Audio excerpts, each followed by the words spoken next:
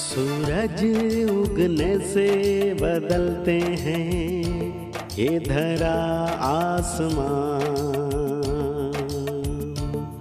चलते रहने से हो जाती है हर मुश्किल आसान। चिंता को छोड़ कर आओ कर ले, मन में शुभ चिंतन हर पल को कर ले सफल सफल कह रही है ये पवन। संवार ले, सुधार ले, कर समस्या का समाधान। संवार ले, सुधार ले, कर समस्या का समाधान, कर समस्या का समाधान, कर समस्या का समाधान, कर समस्या का समाधान, कर समस्या का समाधान, कर समस्या का समाधान। नमस्कार आदाब सत श्रीकाल मित्रों स्वागत है समाधान कार्यक्रम में आप सभी का। आज की शुरुआत मैं कुछ सुंदर पंक्तियों से करना चाहूँगा जो हमें सलमान साहब ने हैदराबाद से भेजा है। ये कहते हैं कि मैं आ, समाधान का लगातार व्यूवर हूँ लगातार वो देखते रहते हैं और इसे देख कर के भी बहुत सारी चीज़ें उन्होंने सीखी हैं पाई हैं। उसे उन्होंने कुछ पंक्तियों में पिरोया है जिसे मैं आपको अर्पित करना चाहता हूँ। ये कहते हैं जब से खुदा तो मेरा हबीब हो गया है, सच कहूँ तो मामला ही अजीब हो गया है। बहुत सुंदर पंक्तियाँ हैं। ना परवाह खुद की, ना अरमानों की, ना तमन्ना अपनों की, ना अनजानों की। अब तू ही मेरी तकदीर, मेरा नसीब हो गया है, सच कहूँ तो मामला ही अजीब हो गया है। जब से तुझसे ही तेरे रूप को जाना मैंने, तेरी हस्ती को दिलो जान से है माना मैंने तू ही मेरी आदत, मेरी तहजीब हो गया है। सच कहूँ तो मामला ही अजीब हो गया है। क्या बात है सलमान साहब, बहुत खूबसूरत पंक्तियाँ लिखी हैं आपने। आगे कहते हैं, ये जिधर भी देखता हूँ, तू ही नज़र आता है। जिधर भी देखता हूँ, तू ही नज़र आता है। तेरा जलवा मेरी नज़र को भाता है। तू ही मेरा जिस्म जाँ, तू ही रकीब हो गया है। सच कहूँ तो मामला ही अजीब हो गया है।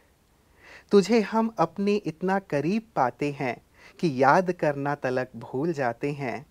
मेरे वजूद से भी ज़्यादा तू करीब हो गया है। सच कहूँ तो मामला ही अजीब हो गया है। बहुत खूबसूरत पंक्तियाँ हैं आपकी, सलमान साहब बहुत बहुत शुक्रिया। और ये पंक्तियाँ आप सभी दर्शकों को भी हम आपके सम्मुख रख रहे हैं। सलमान साहब ने बहुत कुछ पाया है पीस ऑफ़ माइंड चैनल से। सचमुच यही अनुभव आप सबका भी होगा। आइए इन्हीं सुंदर पंक्तियों के साथ आज की इस कड़ी की शुरुआत करते हैं और अभिनंदन करते हैं आदरणीय भ्राता जी का। बहुत बहुत स्वागत है आपका। थैंक यू इतनी सुंदर अनुभव जो इन्होंने समाधान देख करके पीस ऑफ़ माइंड चैनल देख करके ऐसा लगता है कि शायद खुदा को इन्होंने देख लिया है पा और लिया अपना है बना लिया है। मुझे इनकी बातें सुनकर अपने बहुत सारे सुंदर अनुभव सामने आने लगे एकदम से। इसलिए मेरा चित्त तो मग्न होने लगा था कि वाह भगवान इस धरा पर आया। लोगों के लिए वो भगवान हमारे लिए हमारा पिता बन गया बाबा बन गया। हम उसके इतने समीप आ गए कि जैसे इन्होंने कहा तुम्हें याद करना भी भूल गया। अब जो रहता ही साथ हो हो जो। रहता ही साथ हो तो याद करने की बात कहाँ है? तो सचमुच ये बहुत सुंदर समय है और बहुत सुंदर अनुभूति का एक चांस है हर मनुष्य को कि वो भगवान को अपना बना ले। उससे अपनेपन को फील करे। उस पर पूरी तरह समर्पित हो जाए और उसको अपने इतना समीप महसूस करे कि उसके अलावा कुछ दिखाई ही ना दे बस फिर तो मामला गजब का ही हो जाएगा। जिसके साथ भगवान रहे जी। जिसकी छत्र छाया वो स्वयं बन जाए जिसकी चिंताएँ वो स्वयं हरने लगे। जब वो साथ रहेगा तो भला वो अपने साथी को चिंतित कैसे देखेगा? दो साथी जा रहे हो एक के पास अटैची भी हो बड़ा बैग भी हो और भी कुछ हो तो दूसरा कहेगा ना आधा मुझे दे भाई। तो भगवान जो सारे संसार का बोझ उठाने वाला है उसको अगर कोई इस तरह साथी बना ले तो वो सारे बोझ स्वतः ही हर लेगा। तो बहुत सुंदर बात है और हम अपने सभी भाई बहनों से दर्शकों से सभी चाहे हिंदू हो या मुसलमान हो सिख हो या ईसाई हो सभी भगवान की संतान हैं। एंड इक्वली सबको ये अधिकार है कि इस तरह के अनुभव सब करें। तो मुस्लिम भाइयों को बहुत हम कहेंगे सलमान साहब के लिए बहुत बहुत धन्यवाद और खुशी होती है भ्राता जी कि हाँ, हमारे पास समाधान हाँ, परिवार में सभी हम्म, हैं यहाँ हाँ, किसी धर्म की बात, बात नहीं, ही नहीं है। मुस्लिम भाई बहनों के भी हमारे पास पत्र और ईमेल आते हैं तो क्रिश्चियंस के भी आते हैं सिख भाई बहनों के भगवान को तो सभी प्यार करते हैं नाम चाहे कुछ भी अलग अलग देते हैं और फिर भगवान का प्यार भी उन सबको उसी तरह प्राप्त हो जाता है। हम्म, हम्म। तो सचमुच मैं ये कहूँगा परमात्मा प्यार के सभी अधिकारी बन जाए तो जीवन की यात्रा ही कुछ और हो जाए तो भ्राता जी जैसे सलमान साहब के लिए मामला बड़ा अजीब सा हो गया है मतलब इतने करीब वो आ गए हैं खुदा के खुद को जानते चले जा रहे हैं। सभी के साथ ऐसा कैसे हो? कैसे वो ऐसे नज़दीक पहुँचे? जैसे कहा ना किसी ने कि, लाली देखन मैं गया, मैं भी हो गया लाल। तो जैसे आप जब बातें करते हैं, कोई समाधान देते हैं, लगता है कि परमात्मा के आप कितने समीप हैं, करीब हैं, डूबे हुए हैं। सलमान साहब की बात से भी ऐसा लगा, हर एक चाहता तो है, लेकिन कर नहीं पाता। कैसे डूबे, कैसे पाए? बहुत अच्छा प्रश्न है और यही समय की मांग भी है और हर व्यक्ति इसी आधार से जीवन की यात्रा में तृप्त भी होगा। अन्यथा जीवन बहुत भारी होता जा रहा है मनुष्य का। समस्याओं से अनेक लोग घिरते चले जा रहे हैं। बीमारियाँ भी अनेकों को त्रस्त करती जा रही हैं जैसा हम चर्चा कर चुके हैं कल।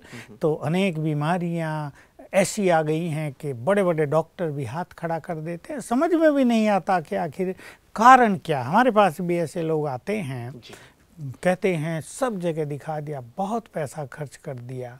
लोग बस या पेन किलर दे देते हैं। जब नहीं कुछ समझ में आता तो कुछ तो देना ही पड़ता है इंजेक्शन लगा के सुला देते हैं। लेकिन मनुष्य इन सब बातों से घिरता जा रहा है। अब एक ही चीज़ रह गई कि उसी की ओर देखें जिसे लोग खुदा कहें या अल्लाह कहें गॉड कहें या हम अपना परम पिता कहें। उसकी और ही देखें उससे अपना नाता जोड़ें। ये समय है जब वो स्वयं हमें सब कुछ देने के लिए इस धरा पर उपस्थित हुआ है। और उसने आते ही पहली फीलिंग ये दी मैं तुम्हारा हूँ। जब वो हमारा परम पिता है तो हमारा हो गया ना? जरा फील करके देखें। भगवान कहने की बजाय ये कहें जो भगवान है वो तो हमारा है मेरा है। तो कितनी समीपता हमें उससे फील होगी। और फिर जब वो हमारा है तो उसका सब कुछ भी हमारा हो गया। तो उसकी शक्तियाँ उसकी शांति उसका प्रेम उसकी प्योरिटी सब कुछ हमारा हो जाएगा। तो सभी को इसका अनुभव करने के लिए ईश्वरीय ज्ञान की आवश्यकता है। और जैसा इन्होंने भी लिखा कि तुम्हारे द्वारा ही हमने तुमको जाना। तो भगवान को भी उसके द्वारा ही हम जान सकते हैं क्योंकि वो ऐसा अदृश्य है निराकार है सूक्ष्मति सूक्ष्म है उसको कोई देह नहीं है। उसको शास्त्रों के द्वारा दर्शनों के द्वारा भक्ति के द्वारा या तर्क वितर्क के द्वारा जाना नहीं जा सकता। कोई सोचे हम शास्त्रार्थ कर लें और ये सिद्ध कर दे, भगवान, ये नहीं, ये है। उससे भी भगवान को जाना नहीं जा सकता। इसलिए श्रीमद् भगवत गीता में भी ये है, न वेदों से, न यज्ञ से, न तप से, न दान से, न पुण्य से। तो भगवान इस समय स्वयं आकर, मैं क्या हूँ? ये स्पष्ट कर रहा है। तो जिसको भगवान को जानना हो, सत्य की खोज समाप्त करनी हो। संसार में सबसे बड़ी खोज यही है कि आखिर भगवान क्या है? हम क्या हैं? इस खोज को यदि कोई समाप्त करना चाहता है या अनेक प्रश्नों के उत्तर उत्तर कोई लेना चाहता है या प्रभु मिलन का परम आनंद प्राप्त करना चाहता है, जो हमारी अंतिम मंजिल है, मुक्ति, कर्मातीत अवस्था परफेक्शन उसका अधिकारी बनना चाहता है तो उसके लिए आकर उसे ज्ञान लेना चाहिए ईश्वरीय ज्ञान। पुस्तकें पढ़कर देख ली शास्त्र ग्रंथ कंठस्थ करके भी देख लिए, सारी गीता को याद कर लिया, उस पर लेक्चर कर दिए, सुन लिए, ये सब भी हो गया। भक्ति पूजा पाठ भी बहुत हो गई। जब मनुष्य को कहीं से कुछ प्राप्त नहीं हुआ तो स्वयं ज्ञान सागर इस धरा पर उपस्थित हुए हैं। वही ज्ञान दे रहे हैं। हम ये बात बहुत अच्छी तरह सबको सिखा रहे हैं, सुना रहे हैं कि कोई इसे हमारी कल्पना न मान ले, कोई इसे हमारी भावना न मान ले, ये परम सत्य है, अंतिम सत्य है कि स्वयं ज्ञान सागर इस समय आकर संपूर्ण ज्ञान दे रहे हैं। जहाँ वेदों का ज्ञान समाप्त हो जाता है, जहाँ दर्शन निरुत्तर हो जाते हैं, जहाँ उपनिषद कुछ नहीं कह पाते, वहाँ से परमात्म ज्ञान शुरू होता है। सभी धर्म ग्रंथों में, चाहे किसी भी धर्म के हों, जहाँ एंड हो जाता है, वहाँ से ईश्वरीय ज्ञान की शुरुआत होती है। तो वो स्वयं आकर ज्ञान दे रहा है तो मैं सबको कहूँगा उससे उसका ज्ञान लें, उसके द्वारा उसको जानें और उससे अपना नाता जोड़कर बिल्कुल ऐसी गुड फीलिंग करें जैसे सलमान साहब ने की है। हम सबने ये बहुत डिवाइन फीलिंग्स की हैं इस जीवन में। इसलिए मन की भावनाएँ भी तृप्त हो गई, खोज भी समाप्त हो गई और जीवन आनंदों में गुजरने लगा। जीवन जीने की कला आ गई जो नहीं आती थी। कोई धन के पीछे भाग रहा था धन बहुत होगा तो जीवन सुखी होगा। कोई साधनों के पीछे भाग रहा, किसने अपने बिज़नेस को बहुत बढ़ाया, ये करें, वो करें, किसने अपनी एजुकेशन को बहुत आगे तक ले गए, लेकिन देखा फिर भी रिक्तता है शून्य है। कहीं भी मनुष्य तृप्त नहीं हो रहा है। और जब हमने ईश्वरीय ज्ञान लिया तो सभी प्रश्नों का उत्तर उत्तर मिल गया। कुछ जानना शेष नहीं रहा कोई से हमारा अभिमान न समझ ले। दादा जी आप लगातार ये कहते रहे हैं कि ये परमात्म ज्ञान है ईश्वर ही हमें ये ज्ञान दे रहे हैं उसे हमने देखा जाना समझा जीवन में लाया लेकिन एक दुनिया में कहा जाता है कि सबसे बड़ा रोग क्या कहेंगे लोग? हाँ। अब लोग ये समझते हैं कि हम तो इस धर्म के हैं तो यदि हम इसे छोड़ के ब्रह्मा कुमारी के पास जाएँगे तो फिर लोग क्या कहेंगे कि इन्होंने अपना धर्म बदल लिया पंथ बदल लिया गुरु को छोड़ दिया? तो ये एक जो क्या कहेंगे लोग ये वाली जो भावना है शायद ये परमात्मा तक पहुँचने नहीं दे रही है। ऐसे लोगों को क्या इसमें ये शब्द निकाल दिया जाए कि ब्रह्मा कुमारियों के पास जा रहे हैं। हम्म।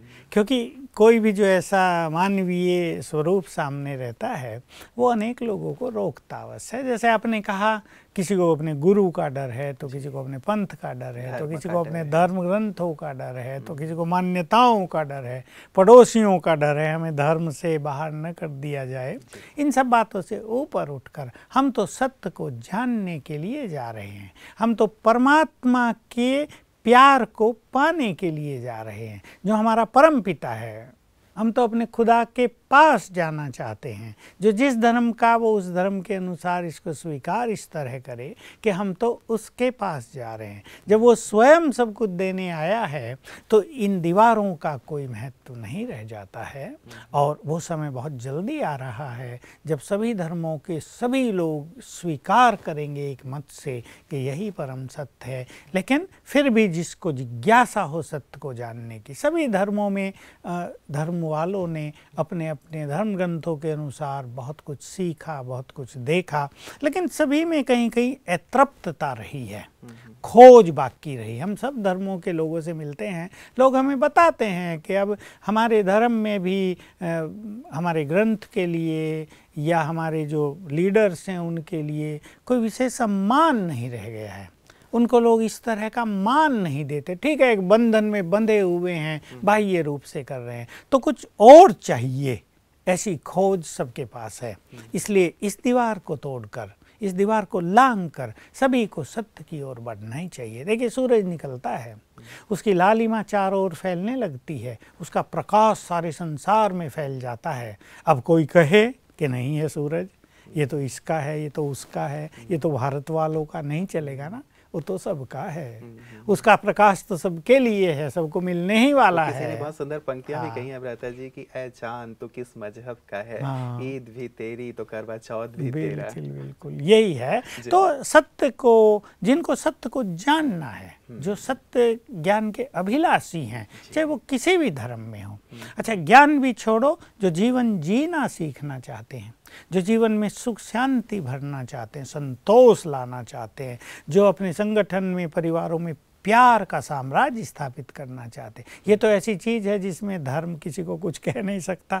ये तो सबकी आवश्यकता है। हम्म। उन्हें राजयोग मेडिटेशन सीखना ही मतलब मूल बात ये हो गई भ्राता जी कि धर्म परिवर्तन या किसी भी प्रकार की और परिवर्तन की बात नहीं है नहीं लेकिन है। आपके परिवार में सुख शांति की बात है मन में सुख शांति की बात है जीवन में उन्नति की बात है और डायरेक्ट जिसे आप मानते हैं चाहे आप खुदा कहें अल्लाह कहें गॉड फादर कहें उससे जुड़ने की बात ब्रह्मा कुमारी हाँ और भी मैं एक दो अच्छी बात इस संदर्भ संदर्भ में कहना चाहूँगा सभी को कि देखिए हमारे सभी धर्म ग्रंथ चाहे वो कुरान हो या बाइबिल हो या गुरु ग्रंथ साहब हो या वेद हो दर्शन उपनिषद रामायण महाभारत सभी बहुत अच्छी चीज़ें मनुष्य को सिखा रहे हैं।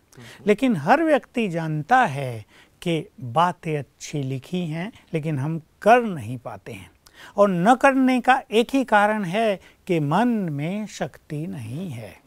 बस एक ही कारण है। बुद्धि में उस तरह के विचार नहीं हैं। लेकिन विशेष रूप से कि मन इतना निर्बल है कि चाहते हैं क्रोध बुरा है। छोड़ देना चाहिए, लेकिन फिर फिर आता है। राजयोग से क्या होगा कि परमात्मा शक्तियाँ प्राप्त होंगी। ही इज़ ऑल माइटी उसकी माइट हम में आएगी। अब वो किस धर्म का व्यक्ति है जो शक्ति आ रही वो इस बात का निर्णय नहीं लेगी कि ये तो हिंदू है इसके पास मुझे जाना है मुस्लिम है इसके पास मुझे जाना है। जैसे सूरज का प्रकाश तो सबके लिए है सर्वशक्तिवान की शक्ति जो उससे कनेक्शन जोड़ेगा उसको प्राप्त होगी। इससे हमारे मन की शक्तियाँ बढ़ेंगी और हम वो कर पाएँगे जो हम करना चाहते हैं।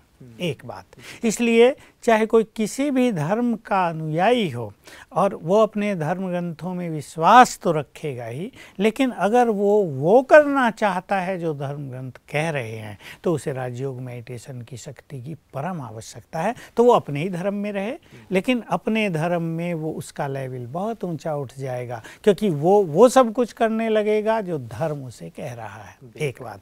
दूसरी बात ये कि जिस में भी जिसकी भावना है खुदा अल्लाह कोई गुरु या कोई देवी देवता मान लो हनुमान गणेश या कोई दुर्गा देवी या विष्णु या महादेव या निराकार परमात्मा जिसमें भी जिसकी मान्यता है या प्यार है और वो उसको मिलना चाहते हैं कि एक बार तुम्हें हम देख लें एक बार तुम्हारा हमारा मिलन हो जाए तो राजयोग ये भी कराएगा इसलिए ये सभी धर्म मत के अनुयायियों के लिए बहुत ही सुंदर गॉडली गिफ्ट है। हम्म। इसको यदि फॉलो करेंगे तो बाकी सब कुछ फॉलो करना सहज हो जाएगा। मतलब सभी के लिए खुला निमंत्रण है और सभी के लिए यूनिवर्सल है। कुछ चीज़ें यूनिवर्सल होती हैं। हम्म। हवा है वो धर्म जाति नहीं देखता। हाँ। या फिर हम सूर्य की बात या चाँद की हाँ। बात करते हैं वैसे हम्म। राजयोग भी यूनिवर्सल है और परमात्मा तो खैर हम सबके हैं ही हैं। विशेष बात रहता जी जैसे आपने पहले कही है कि अर्जुन को भी बहुत सारी मतलब शंकाएँ थी कि मैं करूँ ना करूँ युद्ध करूँ ना करूँ, आदि आदि। और आपने ये भी कहा कि परमात्मा ने जब उन्हें अपना साक्षात्कार कराया, उसके पश्चात उनकी सारी शंकाएँ दूर हो गई। उन्होंने मान लिया कि हाँ आप ही हैं, अब आप जैसा कहेंगे, वैसा मैं करूँगा। तो मन में कई बार आता है कि परमात्मा सर्वशक्तिवान है तो वो क्यों नहीं एक बार सभी को ऐसा अपना साक्षात्कार करा देते कि मैं ही तुम्हारा पिता हूँ, ताकि ये सारी जो बंधन, दीवारें, भेदभाव हैं, सब खत्म हो जाए? एक्चुअली वो तो सबको साक्षात्कार करा रहे हैं, लेकिन सबने दीवारें ही ऐसी खड़ी कर ली है ना कि वो देख नहीं रहा है। ये दीवार ही तो हटानी है। इसके लिए ही ज्ञान की आवश्यकता है। परमात्मा सर्वशक्तिवान है। वो अपनी ओर से कोई कमी नहीं कर रहा है। वो अपनी ओर से सबको संदेश दिलवा रहा है। ज्ञान उसने ऐसा ही दे दिया सब के लिए कि तुम ये ज्ञान लो। लेकिन मनुष्य अपने ही बंधनों को तोड़ नहीं पा रहा है। इन बंधनों को तोड़ कर यदि वो आगे बढ़े तो परमात्मा के, खुदा के, अल्लाह के बहुत समीप पहुँच जाएगा। और उसे सत्य का तुरंत साक्षात्कार हो जाएगा तो इसकी बहुत आवश्यकता है कि हम थोड़ा आगे बढ़ें, एक सीमा में बंद कर न रह जाएँ। खैर तो भ्राता जी, कई बार ये लगता है कि इन सीमाओं को मतलब इन बंधनों को तोड़ने के लिए भी तो शक्ति की ज़रूरत होती है, और जब तक कोई विशेष अनुभव नहीं होता व्यक्ति को, तब तक वो इन्हें भी तोड़ने में अपने आप को असमर्थ पाता है कि कहीं ऐसा ना हो कि मैं ना घर का रहूँ, ना घाट का। वो ऐसी स्थिति हो जाती है। तो क्या ऐसी शक्ति उन्हें मिल सकती है जिससे कि वो इन चीज़ों को थोड़ा समझ सके? शक्ति भी मिलेगी, अनुभव भी मिलेंगे, लेकिन एक कदम तो हर एक को बढ़ाना ही पड़ेगा। भाई, आपको दवाई चाहिए तो दवाई आपके घर में तो नहीं आ जाएगी। दवाई के लिए आपको डॉक्टर के पास तो जाना ही पड़ेगा। वो लिखेगा फिर दवाई खरीदनी भी पड़ेगी फिर खानी भी पड़ेगी। कई लोग क्या होते हैं कि दवाई खरीद लाते हैं और डर से चुपचाप बिस्तर में छुपाए रखते हैं। ऐसी बहुत सारी कन्याओं के उदाहरण आप सुनते होंगे कि दवाई तो ला दी और माँ ने कह दिया कि खा लेना इस इस टाइम लेकिन उन्हें खाई नहीं सब छुपा के रख दी। तो कुछ तो मनुष्य को खुद भी करना ही पड़ता है एक सत्य को प्राप्त करने के लिए। ये बिल्कुल सुंदर बात है कि अनुभवों के बिना कई लोग आगे नहीं बढ़ना चाहते। लेकिन अनुभव भी किसी आधार पर ही होते हैं। हम एक भोजन खाएँगे तो ही तो अनुभव होंगे ना। रसगुल्ला बहुत मीठा है, हमें तो बिना खाए अनुभव होना चाहिए। ये संभव शायद नहीं होगा। हाँ कोई बताएगा ना, रसगुल्ला बहुत मीठा होता है तो मानना पड़ेगा। तो मानने के बाद अनुभव होगा ना खाने से। तो कुछ चीज़ों को हमें ज्ञान के रूप से लेना पड़ता है, जानना पड़ता है। फिर अनुभवों की शुरुआत भी होती है और फिर वही अनुभव मनुष्य को और आगे बढ़ाते हैं गाइड करते हैं। कई लोग भ्राता जी विद्यालय से आते हैं। जैसे अभी इनका खैर एक सलमान जी की बात को लेकर हम आगे बढ़ रहे हैं, लेकिन कईयों के ऐसे हमारे पास प्रश्न आते हैं जो विद्यालय से जुड़े हुए हैं, एक साल, दो साल, तीन साल से भी जुड़े हुए हैं। वो कहते हैं कि हम आए तो हमें लगा कि हाँ हम परमात्मा के दीदार करेंगे, लेकिन वो जो अनुभूति होनी चाहिए, वो अनुभूति हमें प्राप्त नहीं हो रही है। वो परमात्मा से शक्ति नहीं मिल रही है, या वो खुदा का जो दीदार होना चाहिए था, उस दीदार से हम वंचित हैं। तो ऐसा क्यों होता है कि हम आ भी गए, हमने सब कुछ जाना, समझा भी लेकिन वो अनुभूतियाँ नहीं हो रही इसके बहुत सारे कारण हो सकते हैं। ये व्यक्तिगत रूप से किसी व्यक्ति को मिलने के बाद ही हम इसको समझ सकते हैं लेकिन बहुत लोग डाउटफुल रहते हैं पहले से ही। हम्म, हम्म। ये सत्य है या नहीं? एक डाउट उन्हें अनुभूति की ओर नहीं जाने देता है। कई लोग उन धारणाओं को नहीं अपना पाते जो अनुभूति प्राप्त करने के लिए परम आवश्यक है, जिसमें पहली धारणा प्योरिटी है। कई लोग हम देखते हैं कि उनके मन में निगेटिव विचार बहुत चलते रहते हैं। वो निगेटिविटी के इतने शिकार हैं कि अगर उन्हें सुंदर अनुभव भी हो रहा है तो उसके बारे में भी वो निगेटिव सोच रहे हैं कि है भी या नहीं? कहीं ऐसा ही तो नहीं? कहीं आँख मल के देखते हैं, मुझे कुछ हो भी रहा है झूठ मूठ है? तो अगर मनुष्य को संपूर्ण विश्वास हो वो सतत प्रैक्टिस में लगा रहे निगेटिविटी को वो अपने अंदर से निकाल दे बहुत सोचने की जो आदत है उसको थोड़ा सा बंद करे जो व्यर्थ बहुत चलता है मनुष्य के पास और कुछ जो डिसिप्लिन सिखाए जाते हैं राजयोग में उनको अपनाएँ जैसे सवेरे उठकर बहुत अच्छा अभ्यास करना सात्विक अन्न ग्रहण करना संघ पर भी अपने ध्यान देना रोज ईश्वरीय महावाक्यों से अपनी झोली भरना इस तरह इन डिसिप्लिन्स को भी यदि फॉलो किया जाए तो ऐसी कोई बात नहीं कि अनुभूति नहीं होती। लेकिन कभी कभी ऐसा भी देखा जाता है किसी किसी व्यक्ति को अनुभूति आते ही हो जाती है और किसी को अनुभूति एक साल में भी नहीं होती। इस सब के भी कुछ कारण हैं। पूर्व के संस्कार, पूर्व की की हुई भक्ति, परमात्मा से उनके मन में कितना प्यार है, कितनी श्रद्धा है, ये सब बातें भी कहीं ना कहीं काउंट अवश्य होती हैं मनुष्य के अनुभवों के लिए। चलिए भ्रता जी मैं कैसा भी हूँ, मैं यदि सूर्य की ओर बढ़ना शुरू करूँ या आग के पास जाऊँ तो मुझे उसकी सेंक तो ज़रूर महसूस होगी, या फिर मैं बर्फ़ का गोला हाथ में रख लूँ तो हाथ में ठंडक की अनुभूति तो होगी ही तो मैं कैसा भी हूँ मान लीजिए, लेकिन यदि मैं भगवान के सामने आया हूँ तब तो भगवान की शक्ति से मुझे अनुभूति होनी चाहिए सत्य यही है कि जैसे हम सूरज की ओर बढ़ें हम्म। हम आग की ओर बढ़ें लेकिन हम परमात्मा की ओर भी बढ़ें तो सही लोग बढ़ते नहीं हैं वो ये सोचते हैं कि वो हमारी ओर बढ़े लेकिन अगर मनुष्य स्वयं बहुत अपवित्र है हम्म। मान लो किसी व्यक्ति के बॉडी में बहुत बैड स्मेल आ रही है तो भला उसके पास कौन आएगा? अगर कोई आ भी गया तो और चार फुट पीछे हट जाएगा। परमात्म मिलन के लिए मनुष्य को शुद्धि की बहुत आवश्यकता होती है। अगर उसके विचारों में गंदगी है, अगर उसके मन में बहुत निगेटिविटी है, अगर उसका पाप का खाता बहुत बढ़ा हुआ है तो परमात्मा उसकी ओर आते हुए भी नहीं आ पाएगा। ये उसको रिजेक्ट करने लगेंगी इनकी ये सब चीज़ें।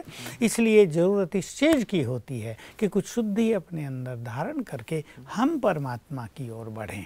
मुकाबले ये सोचें कि सूरज हमारी ओर बढ़ जाए हम परमात्मा की ओर बढ़ें तो अनुभूति होगी अवश्य। कई बार रहता जी यदि हम एक स्थूल दृष्टि से सोचें तो जैसे बच्चा कितना भी गंदा क्यों ना हो दूषित हो गया हो पतित हो कैसे भी बीमारियाँ हो बदबू आ रही हो तो भी माता पिता तो माता पिता ही होते हैं ना कि उसके नज़दीक जाएँगे उसे साफ़ करने की कोशिश करेंगे। तो क्या परमात्मा को भी ऐसे आज की कलयुग के दूषित लोगों को देख के नहीं करना चाहिए कि तू ठीक नहीं हो रहा तो चल मैं तुझे ठीक कर करता है वो भी ऐसा करता है। अपनी ओर से वो भी हमारे बहुत समीप आता है और वो ये करता है कि चलो तू नहीं करता तो मैं तुम्हारी ओर से कुछ करता हूँ। लेकिन उसकी शर्त यही है कि एक कदम तुम बढ़ो तो सौ कदम मैं तुम्हारी ओर बढ़ूँगा। एक कदम तो हमें उसकी ओर बढ़ना ही होता है। मान लो बच्चा बहुत गंदा है और माँ बाप ने उसको साफ़ कर दिया, लेकिन वो फिर गंदा हो गया अगले ही क्षण।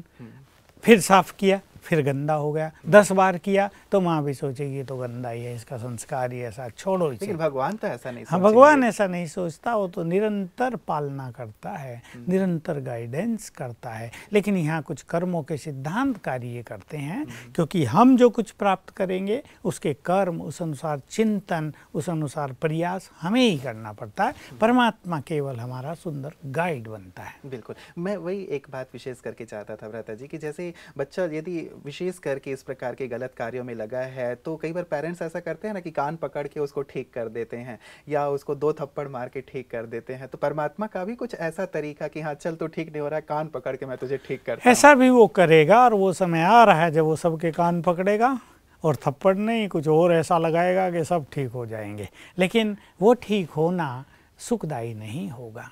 सुखदाई वो चीज़ है जब मनुष्य एक अच्छे मार्ग को फॉलो करके अपने चित्त को शांत करे अपने कर्मों को श्रेष्ठ बनाए अपने को प्योरीफाई करे उसमें जो सुख है वो मारपीट के ठीक करने में नहीं होता है। लेकिन अंततः परमात्मा को भी यही करना पड़ता है कि सभी को उनके पाप कर्मों की सज़ा दिलाकर जो उनमें इम्प्योरिटी या विकार या वासनाएँ आ गई हैं उनसे उसको छुड़ा देता है ज़बरदस्ती हम्म। लेकिन ये काम वो करेगा अंत में पहले वो बहुत प्यार दे रहा है सबकी पालना कर रहा है हम्म। सबको सत्य ज्ञान दे रहा है और परम सुख परम आनंद इसी स्थिति में है कि हम उसको फॉलो करें। जी जी जी। चलिए जब हम परमात्मा की खुदा की बात करते हैं तो बड़ा सुकून सा बड़ी एक राहत सी एक क्योंकि वो हमारा है ना? वो हमारा जी, है। जी, जी, बस ये फीलिंग हमें बहुत कूल कर देती है शीतल। हाँ, हाँ, लगता है कि इस चर्चा को जारी ही रखें। प्रता जी मैं कल विशेष आज तो वक्त हमें इजाज़त नहीं दे रहा है। कल विशेष मैं जानना चाहूँगा कि खुदा को क्या आपने देखा है और वो कैसा है? उससे मिलकर आपको कैसा लगा? क्योंकि ये चर्चा चल रही है तो मुझे लग रहा है कि प्रश्नों को थोड़ा सा किनारे रखते हुए इस चर्चा को हम ज़रूर आगे बढ़ाएँ। कल मैं विशेष आपसे ये जानना चाहूँगा। आज के सुंदर प्रकाश के लिए भ्राता जी आपका बहुत बहुत शुक्रिया। मित्रों आ, किसी ने बहुत सुंदर पंक्तियाँ कही हैं कि परमात्मा खोजने से नहीं मिलते। खो जाने से मिलते हैं। कितनी सुंदर बात है ना? खोज हर एक व्यक्ति रहा है, लेकिन उसे यदि पाना है तो खोना पड़ेगा। जितना हम खोते जाते हैं, उतना उसे पाते चले जाते हैं। तो इसलिए बहुत ज़रूरत इस बात की है कि सचमुच हम उस परम सत्य की ओर एक कदम तो बढ़ाएँ अवश्य। जब हम एक कदम बढ़ाएँगे, निश्चित रूप से उनका ये वायदा है, कई स्थानों पर आपने पढ़ा होगा कि तू मेरे राह पर एक कदम बढ़ा के तो देख, मैं तेरे जीवन को खुशहाली से, आनंद से परिपूर्ण कर दूँगा। आवश्यकता शायद आज इसी बात की है। सलमान जी की बात से हमने शुरुआत की थी। हम सभी धर्म मठ पंथ जिसको भी मानते हों, परमात्मा तो हमारे एक हैं, हमारे माता पिता हैं। क्यों ना अब उस माता पिता की गोद में हम सब चलें, उसे जाने, पहचाने और जीवन का संपूर्ण आनंद लें। इस चर्चा को हम आगे भी जारी रखेंगे। आप बने रहिएगा हमारे साथ। नमस्कार।